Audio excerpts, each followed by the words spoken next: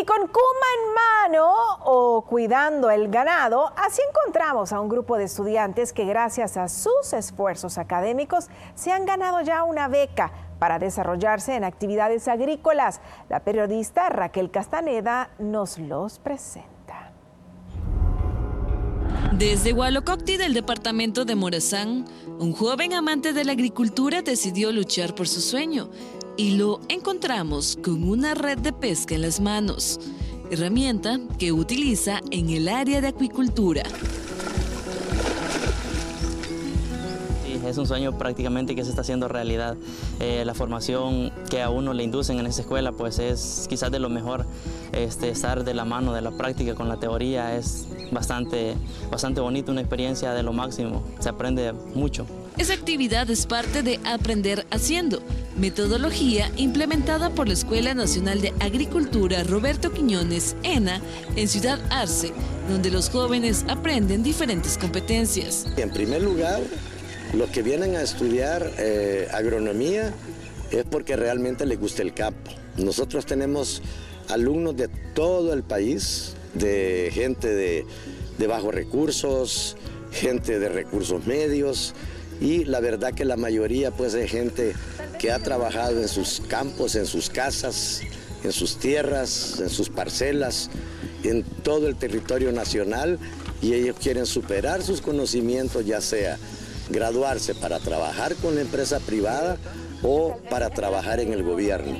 Y es que el fruto de sus buenas calificaciones fue premiado por el Instituto Salvadoreño de Formación Profesional INSAFORP al otorgarles una beca completa y por ello cada año, 75 alumnos se ven beneficiados con esta acción y la mayoría termina con la obtención de un empleo. 700 graduados, de los cuales este, como el 45% quedan insertos en cuestiones gubernamentales, o sea, trabajos gubernamentales, y como el 15%, bueno, el 60% ya tiene, digamos, empleo, y el 15% lo cubren, digamos, otras instituciones, o sea, de, privadas. En el último año de estudio, aprenden el área de zootecnia, es decir, a tratar con ganado de carne, tomarles el peso y la vacunación. Es un poco difícil, pues conocemos temperamentos de, animales, ¿verdad? No es lo mismo tratar con ganado lechero que tratar con ganado de carne, que es un, un, temperamento un poco fuerte, que si uno no lo sabe tratar, pues hay que tener mucho cuidado debido a los golpes que nos pueden ocasionar ellos a nosotros. Norma y Dalia Lobo fue la primera becada por INSAFORP en ENA y aunque al principio solo contaba con 5 dólares en sus bolsillos, sus ganas de salir adelante la motivaron a convertirse en una profesional de éxito, tanto que es la nueva directora de Sendepesca. La sorpresa mía fue que me dijeron aquí, ¿verdad?, en la ENA, usted ha sido una de las primeras becantes, ¿verdad?, de INSAFOR yo me sentí súper contenta. Yo, yo le, dije, le hablé a mi hermana en ese momento y le dije, mira, me han becado de INSAFOR, yo voy a tener una beca de INSAFOR y mi hermana súper contenta me dijo, ah, entonces me dice, hagamos todos los exámenes y todo lo que tenga que hacerse y metámonos a, la ENA. Y, ella, verdad, me dijo, ya sabes, me dijo que yo te voy a apoyar, me dijo, en el mes, me dijo, con 5 dólares, me dijo, porque no tengo para más.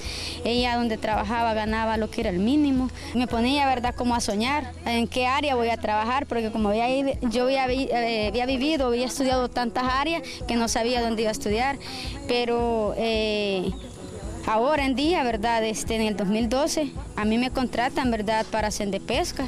Yo fui contratada para Pesca y me dicen, eh, mira, aquí tenés que ver toda la parte de, peces y tenés que ver también lo relacionado con una ley de Pesca, porque yo no sabía nada de que había una ley de Pesca, ¿verdad?